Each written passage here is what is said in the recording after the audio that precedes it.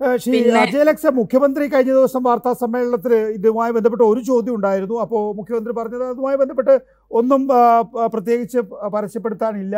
നല്ല രീതിയിൽ ചികിത്സ നടക്കുന്നുണ്ട് എന്നുള്ളതാണ്. അപ്പോൾ ഇപ്പോൾ നമ്മൾ മനസ്സിലാക്കുന്ന ഇതാണ്. മെഡിക്കൽ ബോർഡിന്റെ അണ്ടറിലാണ് കാര്യങ്ങളൊക്കെ നടക്കുന്നത്. അതിന്റെ അടിസ്ഥാനത്തിലാണ് കഴിഞ്ഞ ദിവസം മിംസ് പറഞ്ഞത് അദ്ദേഹത്തിന്റെ ന്യൂമോണിയ ഏതാണ്ട് ഭേദമായിരിക്കുന്നു. ഇനി വേണമെങ്കിൽ ഫർദർ ചികിത്സയ്ക്ക് എങ്ങോട്ട് വേണമെങ്കിലും കൊണ്ടുപോകാം എന്നുള്ളത്. അതാണ് ഇന്ന് ഇന്നിപ്പോൾ കെ സി വേണുഗോപാൽ വരികയും നാളെ എയർലിഫ്റ്റ് ചെയ്യാൻ തീരുമാനമെടുക്കുകയും ചെയ്തിരിക്കുന്നത് എന്നുള്ളതാണ്. പക്ഷെ നാളെ പോയി ഇനിയിപ്പോൾ ഒന്നുകൂടി ഈ പറയുന്ന പരിശോധനകൾ മുഴുവൻ പൂർത്തിയാക്കേണ്ടതുണ്ട് എന്നാണോ എന്നുള്ളത് ഡോക്ടർ പരിശോധിച്ച് പറയുമെന്നാണല്ലോ ശ്രീ ചാണ്ടിയൂപൻ നേരത്തെ പറഞ്ഞിട്ടുള്ളത്. അതെ അതെ. അല്ല അതിനകത്ത് ഈ മെഡിക്കൽ ബോർഡിന് എത്രത്തോളം ഇൻഫർമേഷൻ കിട്ടിയിട്ടുണ്ടെന്നുള്ള കാര്യത്തിൽ എനിക്ക് സംശയമുണ്ട് നികേഷ്. എന്നാന്ന് വെച്ചാൽ അവരിൽ നിന്ന് അറിഞ്ഞത് അവർക്ക് അവർക്ക് എല്ലാ രേഖകളും കൊടുത്തിട്ടില്ല. സോ ഇത ഇതാണ് ഇവിടുത്തെ പ്രോബ്ലം എല്ലാ എല്ലാ ഒരു ഒരു പേഷ്യന്റിന്റെ ഫുൾ ഹിസ്റ്ററി കിട്ടിയെങ്കിലേ ഇവർക്ക് ഇവാലുവേറ്റ് ചെയ്യാൻ പറ്റത്തുള്ളൂ. ഞാൻ മനസ്സിലാക്കിയത് ഇന്നലെ K P C C president പ്രതികരിച്ചത് പോലും ഒരു ഒരു റിപ്പോർട്ടിന്റെ അടിസ്ഥാനത്തിൽ പ്രതികരിച്ചത്. അദ്ദേഹത്തിനെ തെറ്റിദ്ധാരണ ഉണ്ടാക്കിപ്പോയി.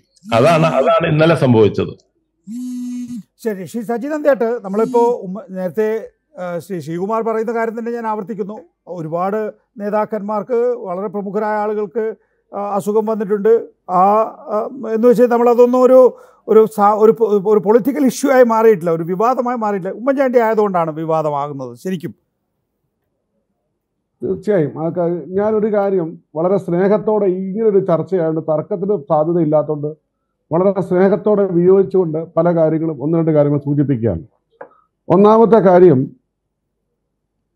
ഭാര്യയ്ക്കും മക്കൾക്കുമാണ് ശ്രീ ഉമ്മൻചാണ്ടിയുടെ മേൽ അധികാരം എന്ന കാര്യത്തിൽ ഒരു തർക്കവുമില്ല പക്ഷേ അദ്ദേഹത്തിന്റെ രക്തത്തിൽ പിറന്ന അനുജൻ മുഖ്യമന്ത്രിക്കും ആരോഗ്യമന്ത്രിക്കും പരാതി കൊടുത്തുകൊണ്ട് മാത്രമാണ് മെഡിക്കൽ ബോർഡ് ഇവിടെ വന്നത് എന്ന കാര്യത്തിൽ ഒരു സംശയം വേണ്ട നികേഷ്.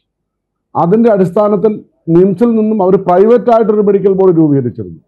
അത് പറ്റില്ല എന്ന് ശ്രീ ഉമ്മൻചാണ്ടിയുടെ മറ്റു കുടുംബാംഗങ്ങൾ ഗവൺമെന്റിനോട് ആവശ്യപ്പെട്ടതനുസരിച്ചാണ് ഈ മെഡിക്കൽ ബോർഡ് വന്നത്. ഈ മെഡിക്കൽ ബോർഡ് വന്നത് വളരെ ഗുണകരമാണ്. ഇവിടെ നമുക്കൊരു അസുഖം ഉണ്ടായാൽ നമ്മൾ ഓരോ ഒപ്പീനിയൻ എടുക്കും സെക്കൻഡ് ഒപ്പീനിയൻ എടുക്കും തേർഡ് ഒപ്പീനിയൻ എടുക്കും. ഞാൻ മനസ്സിലാക്കുന്നത് പത്ത് പതിനാല് ഹോസ്പിറ്റലുകളിൽ ഇതുമായി ബന്ധപ്പെട്ട് പോയിട്ടുണ്ട്. ഇത് ആദ്യം തന്നെ രണ്ടായിരത്തി പതിനഞ്ചിൽ തന്നെ ജോൺ മണിക്കർ കണ്ടുപിടിച്ചപ്പോൾ തന്നെ ഒരു ലൈറ്റ് ആയിട്ടുള്ള ഒരു സീറോ പെർസെന്റ് റിസ്ക് ഇല്ലാത്ത ഒരു റേഡിയേഷനിലൂടെ അത് മാറ്റിയെടുക്കാമായിരുന്നു. പിന്നീട് അത് ഇവർ മനഃപൂർവമാണെന്ന് നമ്മൾ ഒരിക്കലും പറയില്ല. അവിടെ ഈ പറഞ്ഞ ആയുർവേദ ചികിത്സയും വേദി ചികിത്സയൊക്കെ വന്ന് അവരുടേതായ ഒരു സ്വാധീനം വരുമ്പോൾ സ്വാഭാവികമായി നമുക്കറിയാം ക്യാൻസർ എന്ന് പറയുന്ന അവിടെയും ശ്രീ ഞാൻ പറയട്ടെ, ചാണ്ടിയുമ്മന്റെ എല്ലാ അഭിമുഖങ്ങളും സൂക്ഷ്മമായി നിരീക്ഷിച്ചിട്ടുള്ള ആളാണ്. ഇവിടെയൊക്കെ. ഉമ്മൻചാണ്ടിയാണ് തീരുമാനം എടുക്കുന്നത്. അല്ലാണ്ട് ചാണ്ടിയുമ്മൻ ബന്ധുക്കളോ അല്ല. ആയിക്കോട്ടെ ആയിക്കോട്ടെ. ഞാൻ പറഞ്ഞത് ഇവിടെ ഒരു പ്രശ്നമുണ്ട്. അല്ല അത് അജയ് പറയും. അജയ്ക്ക് അതിനെ കുറേ കാര്യങ്ങൾ അറിയാം. പല കാര്യങ്ങളും ചാനലിൽ നിന്ന് പറയാൻ വയ്യാത്തതുകൊണ്ട് അതേക്കുറിച്ച് ഞാൻ പറയുന്നത് കാരണം കുടുംബാംഗങ്ങൾ ഇരിക്കുമ്പോൾ നമ്മൾ അങ്ങനെ പറയുന്നത് ശരിയല്ല. ഈ ഒരു അവസരം പറയണ്ട. ആ പറയണ്ട പറയണ്ട. പിന്നെ അല്ല കേട്ടുകഴിവില്ല അജയ് എന്നോട് പറഞ്ഞ അജയുമായി ഞാൻ സമ്പാ സമ്പാദിക്കാ സമ്പാദിക്കാറുണ്ട് അതുകൊണ്ട് ഞാൻ അതേക്കുറിച്ച് പറയുന്നില്ല. മോശമാണ്.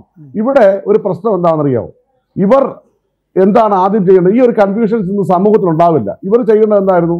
ഇവർ ചാണ്ടി സാറും ഉമ്മൻചാണ്ടി സാറും വൈഫും മക്കളും. അതോടൊപ്പം തന്നെ അദ്ദേഹത്തിന്റെ സഹോദരിയുണ്ട് വത്സയാന്തിയുണ്ട് ഞങ്ങളെല്ലാം അയലോക്കത്തുള്ളവരാണ് അതോടൊപ്പം അനിയച്ചായൻ ഉൾപ്പെടുന്ന ഈ പറഞ്ഞ അജയലക്സ് ഉൾപ്പെടുന്ന എല്ലാവരും ഒരു ഒരു മേശയ്ക്ക് ചുറ്റി വരുന്നതുകൊണ്ട് എന്റെ ബ്രദറിന് ക്യാൻസർ വന്നിരുന്നു. പഴയ നേതാവായിരുന്നു ഇവർക്കറിയാം.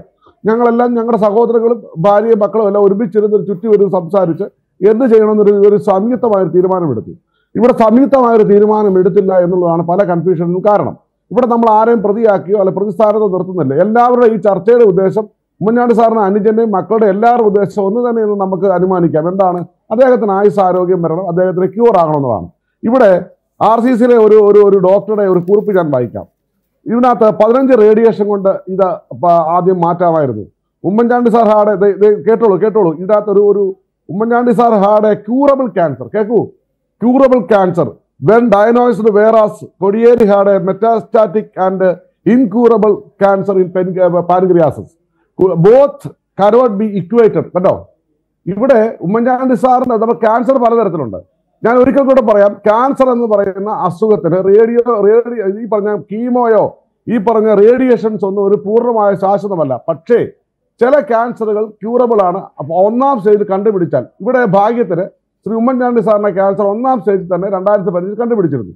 ആ സമയത്ത് നമ്മുടെ നാട്ടിൽ തന്നെ നമ്മുടെ കേരളത്തിൽ തന്നെ പ്രമുഖരായ വ്യക്തികൾ ഇങ്ങനെ തൊണ്ടയിൽ ഈ ക്യാൻസർ ആദ്യ ഘട്ടത്തിൽ കണ്ടുപിടിച്ചപ്പോൾ തന്നെ സന്തോഷത്തോടെ ജീവിതത്തെ കണ്ട് മുന്നോട്ട് പോകുന്നവരെ നമ്മുടെ മുമ്പിലുണ്ട്. ഇന്നസെന്റ് ഉൾപ്പെടെയുള്ളവരെ മുമ്പിൽ മുമ്പിലുണ്ട്. ഇവിടെ റേഡിയേഷൻ എന്ന് പറയുന്ന ആദ്യ ഫസ്റ്റ് സ്റ്റെപ്പ് അത് ആദ്യമേ സ്വീകരിച്ചിരുന്നെങ്കിൽ ശ്രീ ഉമ്മൻചാണ്ടി സാറിന് ഇത്തരത്തിലുള്ള ആരോഗ്യ പ്രശ്നങ്ങളോ ഇപ്പോഴുണ്ടാകുന്ന ആരോഗ്യ പ്രശ്നങ്ങളോ ഉണ്ടാവാതെ കുറേ നാൾ അദ്ദേഹം സ്ട്രെയിൻ ഇല്ലാതെ വളരെ സന്തോഷത്തോടെ ജീവിച്ചേനെ എന്ന് അഭിപ്രായപ്പെടുന്ന ഡോക്ടേഴ്സ് ഉണ്ട്. ഇവിടെ ഞാൻ പറയട്ടെ ഇവിടെ ഇപ്പൊ പറഞ്ഞല്ലോ ഒരു ഡോക്ടേഴ്സും അങ്ങനെ പറഞ്ഞില്ല എന്ന് പറയുമ്പോൾ എനിക്കൊരു തർക്കം ഉണ്ടാക്കാറില്ല ആ സ്നേഹിച്ചുകൊണ്ട് സ്നേഹത്തോടെ ഞാൻ വിയോജിക്കുകയാണ്. ഇദ്ദേഹത്തെ പിന്നെ പിന്നെ ജർമ്മനിക്ക് കൊണ്ടുപോകുന്നതിന് മുമ്പ് ഇവിടെ ശ്രദ്ധിക്കണം.